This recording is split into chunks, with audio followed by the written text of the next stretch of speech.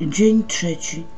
Ojcze z nieba Boże, zmiłuj się nad nami. Nasz Ojciec Niebieski miał tylko jednego świętego, który reprezentował go na ziemi. Dlatego obdarował swojego ulubionego świętego wszystkim, czym mógł i wyposażył we wszystko, co jest potrzebne, aby był jego godnym przedstawicielem.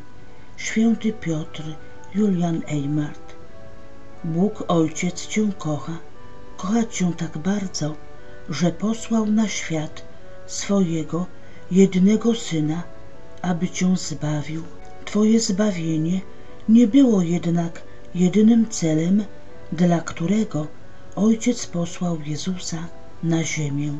Posłał swojego Syna, aby Cię zbawił i uczynił dzieckiem Bożym. Za pośrednictwem Jezusa możesz więc zawołać Abba, Ojcze. Zostałeś stworzony po to, aby być dzieckiem Bożym. To jedyny powód Twojego istnienia. Do Ojca prowadzi tylko jedna droga Jezus Chrystus. Tylko Jezus ma moc zaprowadzić Cię do Ojca, a jednocześnie dzięki miłosiernej miłości Boga święty Józef odgrywa bardzo ważną rolę w Twoim duchowym rozwoju i podróży przez życie. Zawierzenie świętemu Józefowi zwiększa obecność Ojca w Twoim życiu. Poznajemy tę prawdę z życia samego Jezusa. Kiedy Ojciec Niebieski posłał swojego Syna na świat, aby nas zbawił i uczynił Jego dziećmi, wybrał jedynego świętego, godnego reprezentować Go na ziemi, świętego Józefa.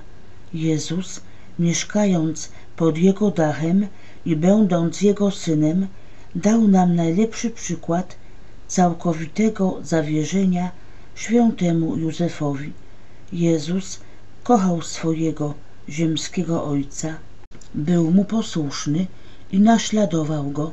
Święty Józef jest jedynym człowiekiem, którego Jezus kiedykolwiek nazwał Ojcem. Jezus cieszył się, że jest znany jako syn Józefa. My też powinniśmy traktować jako zaszczyt to, że możemy być Jego dziećmi. Jeśli, zgodnie z planem Ojca, Jezus potrzebował świętego Józefa, o ileż bardziej my go potrzebujemy. Ojcostwo świętego Józefa zwiększyło obecność Ojca Niebieskiego w życiu Jezusa. Warto od razu wyjaśnić, święty Józef nie jest Bogiem, nie może dodać niczego do boskiej i odwiecznej komunii istniejącej między Bogiem Ojcem a Bożym Synem. Święty Józef nie może również poprawić zdolności Jezusa jako istoty boskiej, wiecznego dawania świadectwa obecności Ojca Niebieskiego.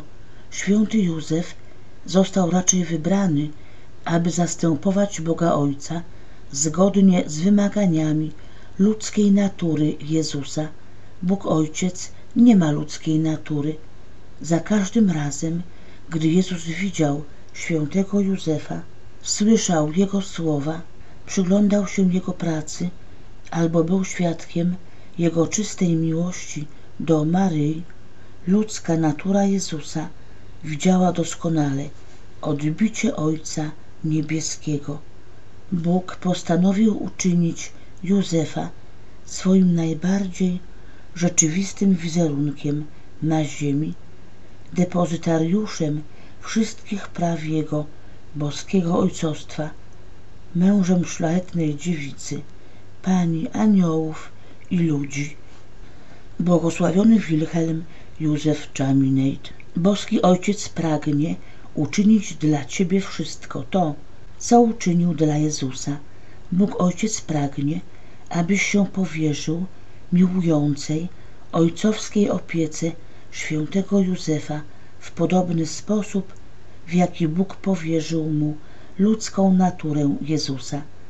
Bóg zaplanował także zawierzenie świętemu Józefowi zarówno Jezusa, jak i członków swojego Kościoła z całej wieczności. Nic nie stało się przypadkowo. Święty Józef jest cieniem Ojca Niebieskiego. Był dla Jezusa Jego wizerunkiem i odbiciem. Bóg Ojciec pragnie, abyś i Ty przyjął świętego Józefa jako Ojca Duchowego. Wyłącznie w Jezusie możemy zobaczyć najdoskonalszy obraz miłosierdzia i miłości Jego Ojca. Jak sam powiedział, kto mnie widzi, widzi także Ojca, ale Jezus pragnie również dzielić się z nami tym, który był dla Niego ziemskim wizerunkiem Jego Ojca Niebieskiego. Ten święty człowiek, święty Józef, miał tak wielką godność i cześć, że przedwieczny Ojciec w swojej hojności obdarzył go podobieństwem do swojego pierwowzoru, święty Bernard ze Sieny. Nasz Ojciec Duchowy, czerpiąc inspirację z Ewangelii, ojcowie Kościoła już od pierwszych wieków podkreślali, że święty Józef, który z miłością opiekował się Maryją i z radością poświęcił się wychowaniu Jezusa Chrystusa, także dziś strzeże i osłania mistyczne ciało Odkupiciela, Kościół, święty Jan Paweł II. Czy kiedykolwiek pomyślałeś o świętym Józefie jak o Ojcu? Czy przyszło Ci do głowy, że Jezus pragnie, abyś miał w Nim kochającego Ojca duchowego? Kościół zawsze rozumiał duchowe macierzyństwo Kościoła Maryi, ale nie zawsze rozumiał duchowe ojcostwo świętego Józefa odnośnie do Kościoła. Aby dokładnie zrozumieć tego powody, musimy rozważyć, jak Kościół rozumiał ojcostwo świętego Józefa i jak o nim nauczał. W pierwszych wiekach chrześcijaństwa byli w Kościele ludzie, w tym także ojcowie Kościoła, którzy mieli wątpliwości, czy świętego Józefa można naprawdę nazywać ojcem Jezusa, bez względu na to, że Pismo Święte wyraźnie nazywa świętego Józefa ojcem Jezusa, wielu wczesnych chrześcijan uważało, iż pod żadnym pozorem nie należy go tak określać. Bardzo ostrożnie podchodzili do tego rytuału, ponieważ nie chcieli, aby myślano, że święty Józef był biologicznym ojcem Jezusa. Właściwie to nie chcieli splamić wiary w dziewictwo Maryi. Dopiero od nauczania świętego Augustyna w IV wieku Kościół zaczął dokładnie wyjaśniać ojcostwo świętego Józefa. Mimo, iż nie jest biologicznym ojcem Jezusa, to jest jednak jego prawdziwym ojcem, ponieważ sprawował władzę ojcowską wobec niego stanowczo, z uczuciem i wiernie. Po wyjaśnieniu ojcostwa świętego Józefa przez świętego Augustyna nigdy więcej nie było ono kwestionowane, a ponieważ święty Józef naprawdę jest ojcem głowy Kościoła, jest zatem także ojcem pozostałych członków mistycznego ciała Chrystusa. Z czasem w pismach świętych i mistyków zaczęło powoli pojawiać się takie rozumienie jego patronatu i ojcostwa nad Kościołem. Z Pisma Świętego wiemy, że święty Józef strzegł i chronił Jezusa jako jego ojciec. Tradycja przekazuje nam, że strzeże on i chroni mistyczne ciało Chrystusa, Kościół jako jego duchowy ojciec. Co to znaczy dla ciebie osobiście? No cóż, jesteś członkiem Kościoła. Czy Jezus pragnie, aby święty Józef strzegł cię z taką samą ojcowską miłością, stanowczością, uczuciem i wiernością, jak to robił wobec swego syna. Odpowiedź brzmi tak. W XIX wieku Jezus sam otwarcie polecił słudze Bożej siostrze Marii Marcie Chambon, aby nazywać świętego Józefa ojcem. Ta święta zakonnica otrzymała nadzwyczajne łaski od Jezusa, Maryi i świętego Józefa. Jest znana jako mistyczka świętych ran. Jezus tak powiedział siostrze Marii Marcie. Musisz nazywać świętego Józefa swoim ojcem, ponieważ to ja dałem mu ten tytuł i dobroć ojca. Poprzez chrzest stałeś się dzieckiem Bożym i członkiem rodziny Boga. Jezus jest Twoim Panem, Zbawicielem i bratem. Stał się Twoim bratem z bardzo konkretnego powodu. Pragnie, abyś miał udział w Jego synowskiej relacji z Ojcem Niebieskim. To podstawowa prawda chrześcijańska. Pomaga nam również zrozumieć duchowe ojcostwo świętego Józefa wobec nas. Zaraz wyjaśnię, o co mi chodzi. Jeśli Jezus jest Twoim bratem, to Jego rodzice stają się Twoimi rodzicami. Nie fizycznie, oczywiście, lecz duchowo. Matka Jezusa staje się Twoją matką, a Ojciec Jezusa Twoim Ojcem. Skoro Maryja jest Twoją matką, a Jezus Twoim bratem, to święty Józef musi być Twoim ojcem. Jest nim tak jak każdy mężczyzna, który poślubiłby Twoją matkę.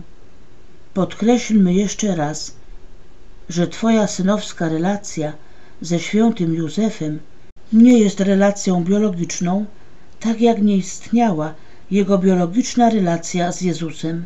Nie oznacza to jednak, że ojcostwo świętego Józefa nie jest prawdziwe. Jest ono jak najbardziej prawdziwe. Gdyby duchowe ojcostwo nie było prawdziwe, nazywanie Ojca Niebieskiego, opisywanego przez Jezusa naszym Ojcem Niebieskim, nie miałoby żadnego sensu.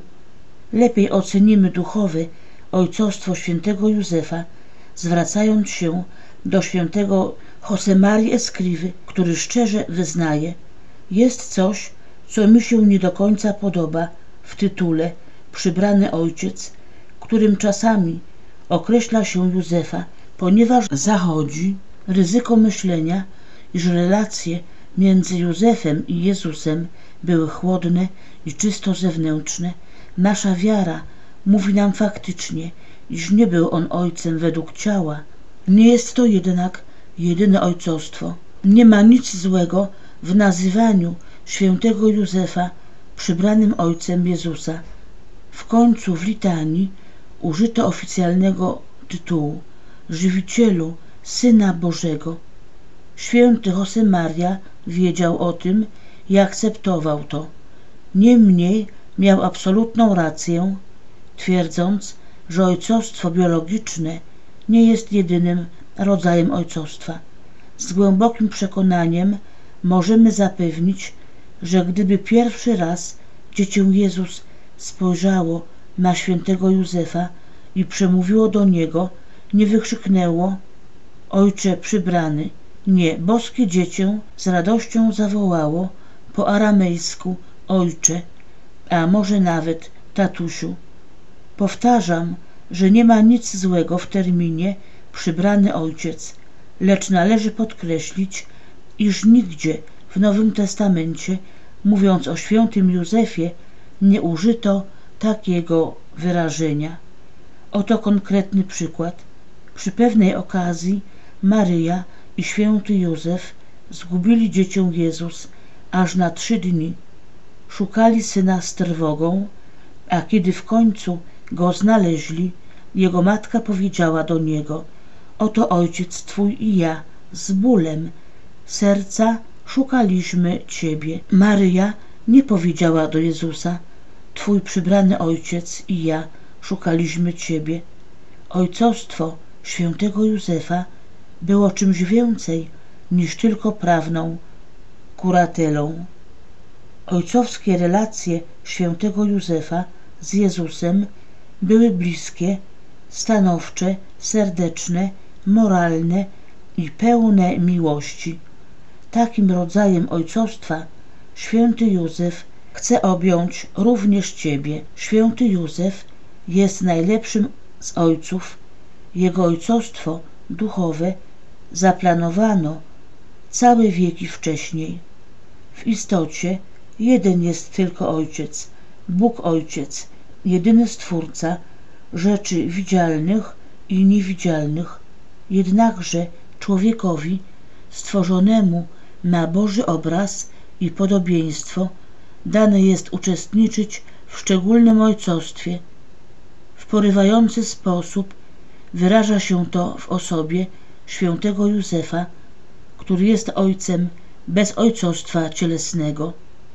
Nie jest on biologicznym ojcem Jezusa, którego ojcem jest sam Bóg, a jednak jego ojcostwo będzie pełne i całkowite. Być ojcem to przede wszystkim służyć temu, kto żyje i rośnie. W tym względzie święty Józef dał dowody wielkiego oddania. Papież Benedykt XVI. Być może się zastanawiasz, do czego Jezus potrzebował ojcostwa świętego Józefa, skoro jego ojcem jest Bóg. Znakomite pytanie. Zasadniczo Jezus potrzebował świętego Józefa, ponieważ tego wymagała jego ludzka natura. Syn Boży po wcieleniu zaczął podlegać antropologicznym ludzkim uwarunkowaniom, czyli potrzebował ludzkiego ojca, który by go kochał, karmił, uczył, dał mu dach nad głową i chronił. Jezus, Słowo wcielone, nie jest istotą czysto duchową, jest Bogiem, człowiekiem, ma naturę boską, a jednocześnie ludzką. Zgodnie ze swoją ludzką naturą Jezus miał fizyczne, emocjonalne i psychologiczne potrzeby. Bóg Ojciec nie ma ciała, emocji ani namiętności, ponieważ nigdy się nie wcielił jak jego Syn. Ojciec Niebieski nie może niczego fizycznie dotknąć, pójść na spacer, ani objąć swojego wcielonego Syna.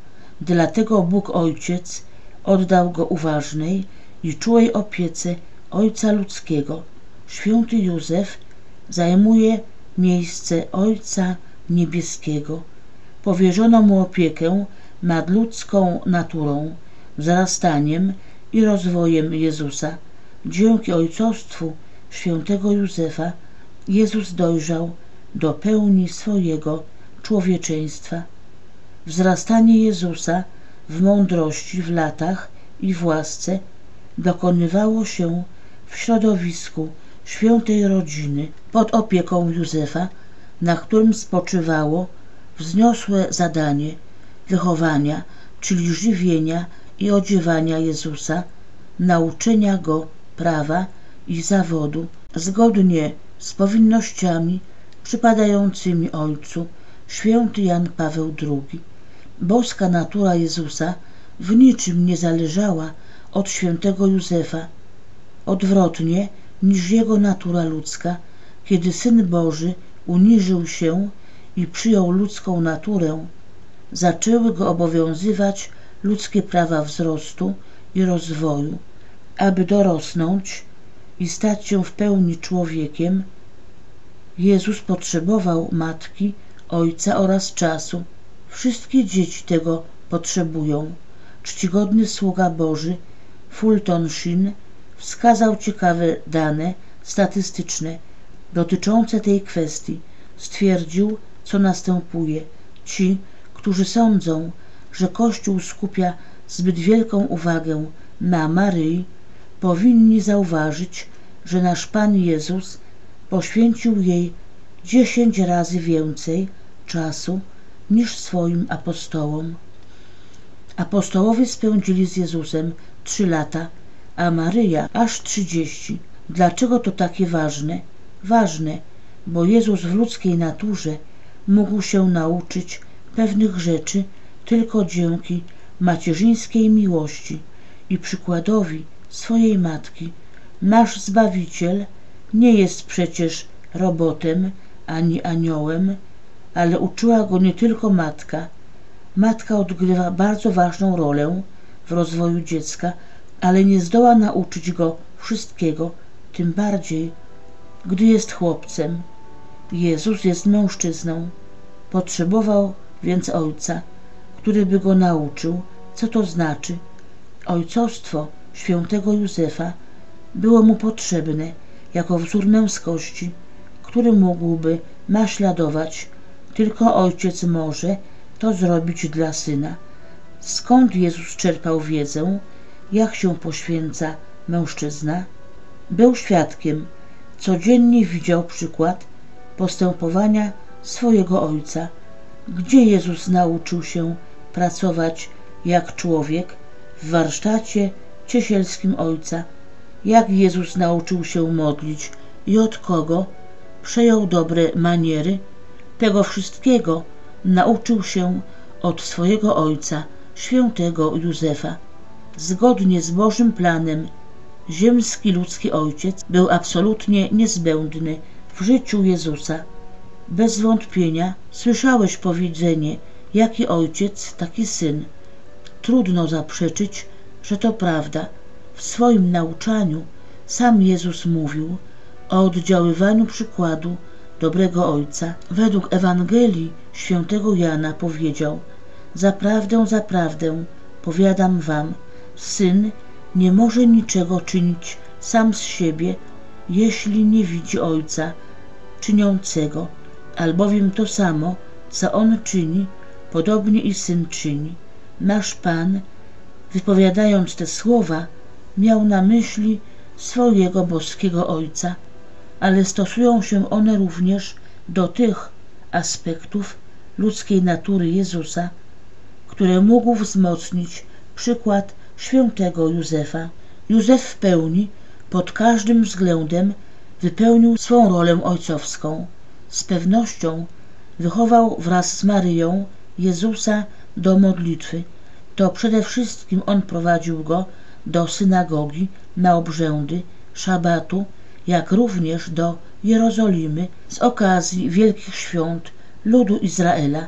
Józef zgodnie z tradycją żydowską przewodniczył modlitwie domowej zarówno na co dzień, rano, wieczorem, przy posiłkach, jak i z okazji głównych świąt religijnych. Tak więc w rytmie dni spędzonych w Nazarecie, w prostym domu i warsztacie Józefa, Jezus nauczył się, by na przemian modlić się i pracować oraz ofiarowywać Bogu także trud zarabiania na niezbędny dla rodziny chleb.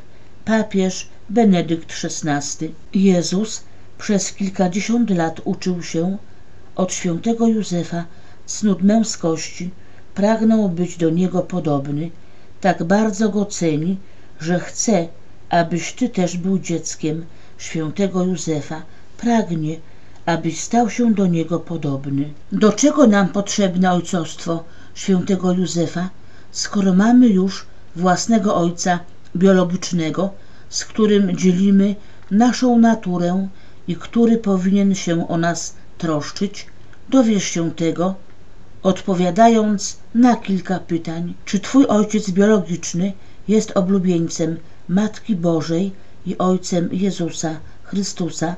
Czy Twój ojciec biologiczny jest najwyższym wzorem wszystkich cnót? Czy Twój ojciec biologiczny jest głową świętej rodziny, opiekunem Kościoła świętego i postrachem duchów piekielnych? Jezus pragnie, abyś poznał ojcostwo duchowe świętego Józefa, ponieważ żaden człowiek nie przekaże ci lepszego wzoru prawdziwego Ojca, Jego kochające ojcostwo duchowe z mocą przyciągnie cię do serca Jezusa i Maryi, wzmocni cię w cnocie ochroni cię przed szatanem i pomoże osiągnąć niebo. Przy czym powinienem wyjaśnić, że duchowe ojcostwo świętego Józefa nie ma zastępować ojcowskiej opieki Twojego, ojca biologicznego, tak samo jak duchowe macierzyństwo Maryi nie ma zastępować macierzyństwa Twojej matki biologicznej.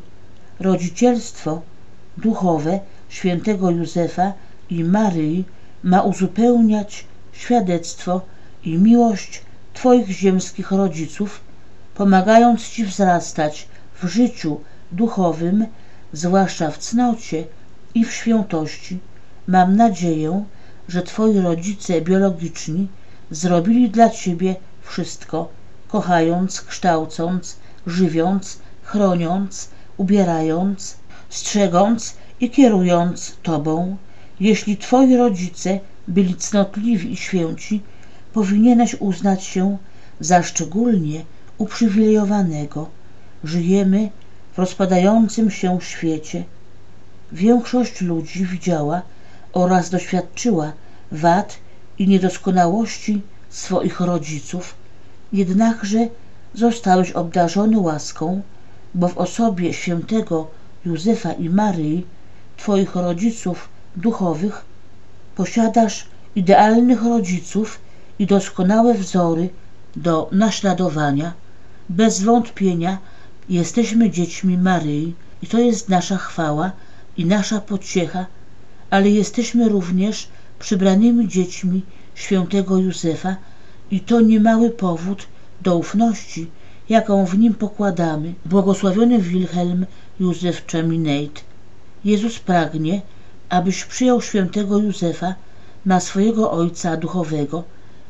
Nic tej prawdy nie zmieni, bez względu na to, czy miałeś ojca biologicznego, świętego czy grzesznika. Święty Józef jest najwspanialszym, najbardziej kochającym i najświętszym spośród wszystkich ojców.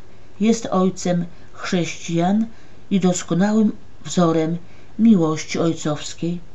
On, święty Józef, jest ojcem chrześcijan, skoro jest depozytariuszem nasienia łaski, z którego zrodzili się chrześcijanie. Skoro święty Józef jest naszym ojcem, naśladujmy jego czyny. Błogosławiony Wilhelm Józef Chaminade. Powstaje pytanie, jeśli duchowe ojcostwo świętego Józefa jest tak ważne, dlaczego Jezus nam tego nie uświadomił dwa tysiące lat temu? Odpowiedź jest prosta.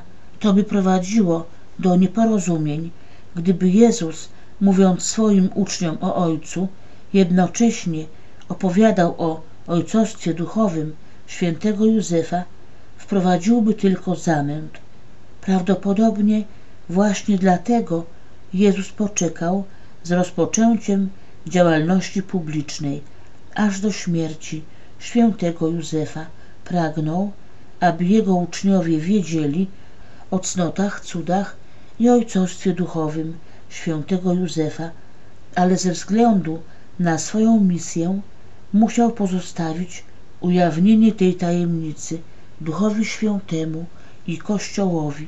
Jezus nie mówił swoim uczniom o świętym Józefie, co nie znaczy, że nie cenił swojego Ojca.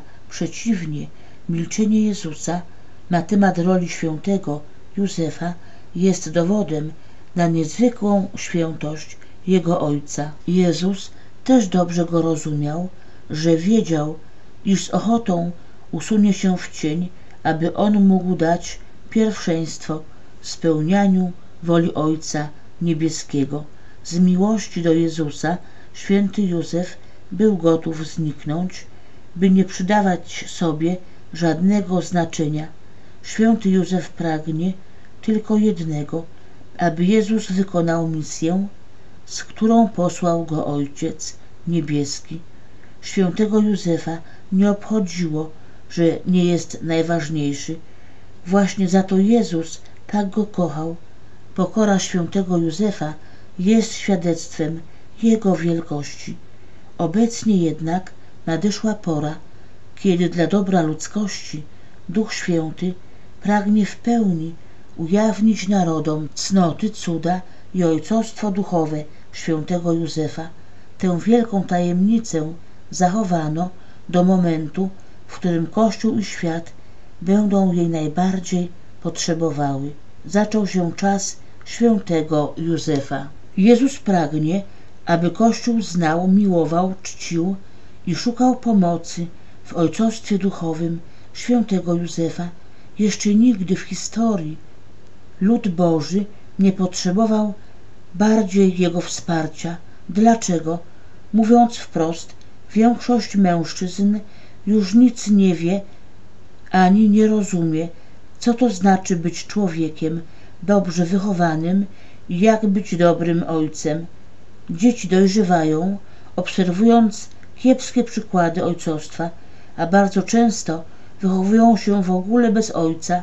Antykoncepcja, pornografia, aborcja, zamęt wywołany przez propagowanie ideologii gender, moralna deprawacja, puste kościoły, moralna korupcja duchowieństwa i chaos kulturalny to tylko kilka skutków społecznych braku prawdziwych mężczyzn i ojców. Jezus kieruje naszą uwagę na ojcostwo duchowe świętego Józefa, aby naprawić zło i przywrócić porządek w Kościele i na świecie. Czego zatem powinniśmy się spodziewać po ojcostwie duchowym świętego Józefa? Co on dla nas uczynił? Święty Józef nas kocha i zrobi dla nas z radością wszystko to, co ojciec biologiczny robi dla swoich dzieci. Tyle, że na poziomie duchowym będzie nas duchowo żywił, chronił, odziewał, uczył, strzegł i pouczał. Taka jest jego rola jako ojca. Wszystko to, oprócz pouczania, czynił święty Józef dla Jezusa, naszego brata. Ponadto naturalnie zaspokajał przez lata wszelkie fizyczne potrzeby swojego ojca. Skoro Józef był tak zaangażowany całym sercem i duszą w opiekę i utrzymanie swojej małej rodziny w Nazarecie, nie sądzicie, że teraz w niebie jest nadal tym samym kochającym ojcem i opiekunem całego Kościoła, wszystkich jego członków, tak jak nim był wobec jego głowy na ziemi, czcigodny sługa Boży, papież Pius XII.